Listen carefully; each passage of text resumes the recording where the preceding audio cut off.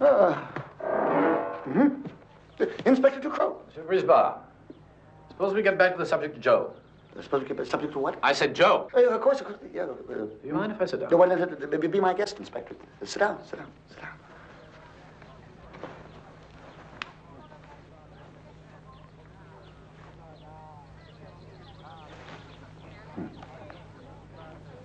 Something wrong?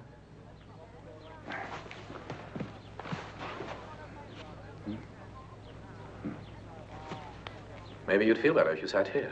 Maybe.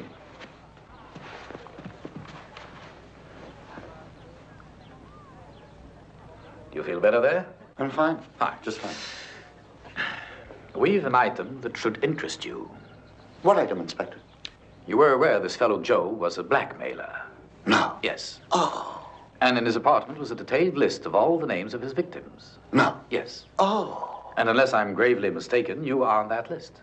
Me? You. No. Yes. Oh. So, of course, I came to the conclusion that he tried to contact you. pow, pow, you shoot. Tell me, Antoine. Uh, that corpse of yours, how do you do, sir? How do you do? Uh, that him corpse talk, now. please. Yes, well, I think I've come up with a great idea for getting rid of the corpse. Completely. There's a corpse? You're mistaken. I've told you a million times there's no corpse. You remember the other day when we were talking about absolutely no corpse. After all, we were. champagne. Go on. Well, let me tell you. Listen to me. I think your idea was fantastic. It'd work. It'd work.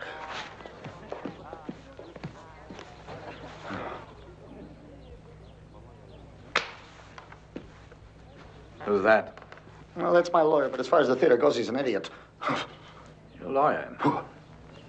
Well, if you don't want to have real need of his services, you'd better start explaining why your name is on that list of Joe's.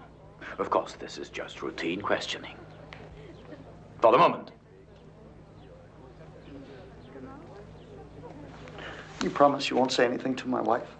Promise.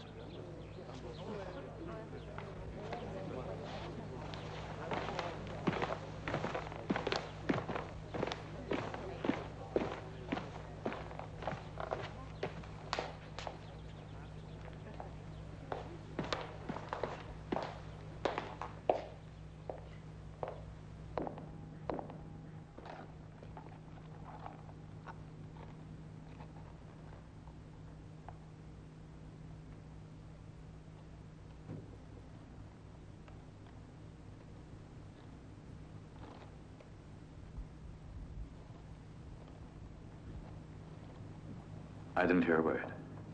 I was just telling you quietly that my wife, Sylvie, is the daughter of Granada. It's not possible. The murderer? I mean, you mean to tell me the masked murderer? That, That's right, Inspector. that was in, in 45. No, 46. 45. 46. 45. 46. Well, I ought to know. It's my business. Well, if that's really true, then.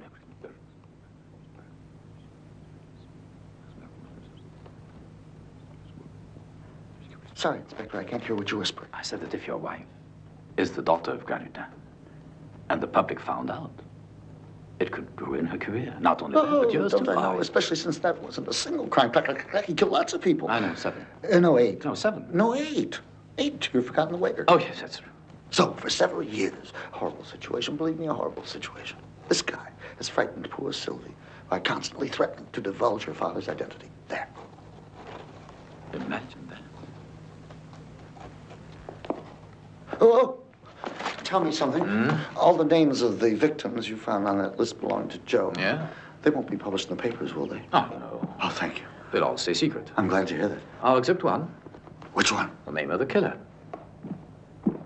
The killer. The killer. Who's killer? Uh, didn't I tell you? Uh-uh. Your friend Joe was conveniently killed last night. He what? Well, if I tell you he was killed, it's because I have the proof. The proof. You have the proof. What kind of proof? You don't have any proof. For my money, finding him with a bullet in him is enough proof. But where? Uh, on the carpet in front of the door. Well, it didn't happen here. Oh, no, I found him in his apartment. His apartment. On the floor in front of the door. Goodbye, Monsieur Brisbane. You can rest assured I know a thing or two about killers, and you're simply not the type.